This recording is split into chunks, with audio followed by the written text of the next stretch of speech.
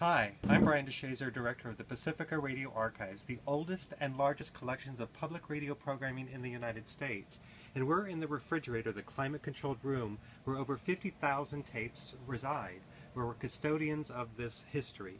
And right beside me here are the tapes that were identified as part of the American Women Making History and Culture Project, 1963 to 1982, a preservation and access project funded in part by a grant from the National Historical Publications and Records Commission at the National Archives in Washington, D.C. And it's a matching grant, so this coming Tuesday and Wednesday, November 18th and 19th, we're taking over the five Pacifica radio stations to raise funds to match a grant to make sure that over 2,000 tapes, just like these, of women's broadcast on Pacifica Radio are preserved and made accessible for the future.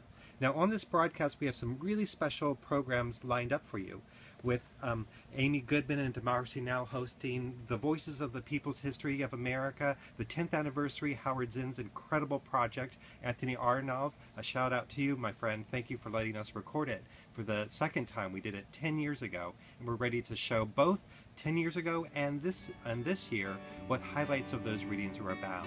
We also have a live guest, Suni Paz, an incredible musician, on Tuesday with Mark Torres, so we're looking forward to that.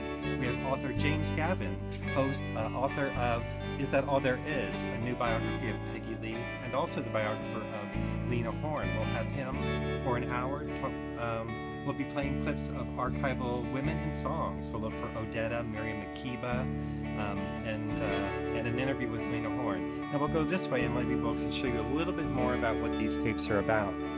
So on these little white pages, these these white pages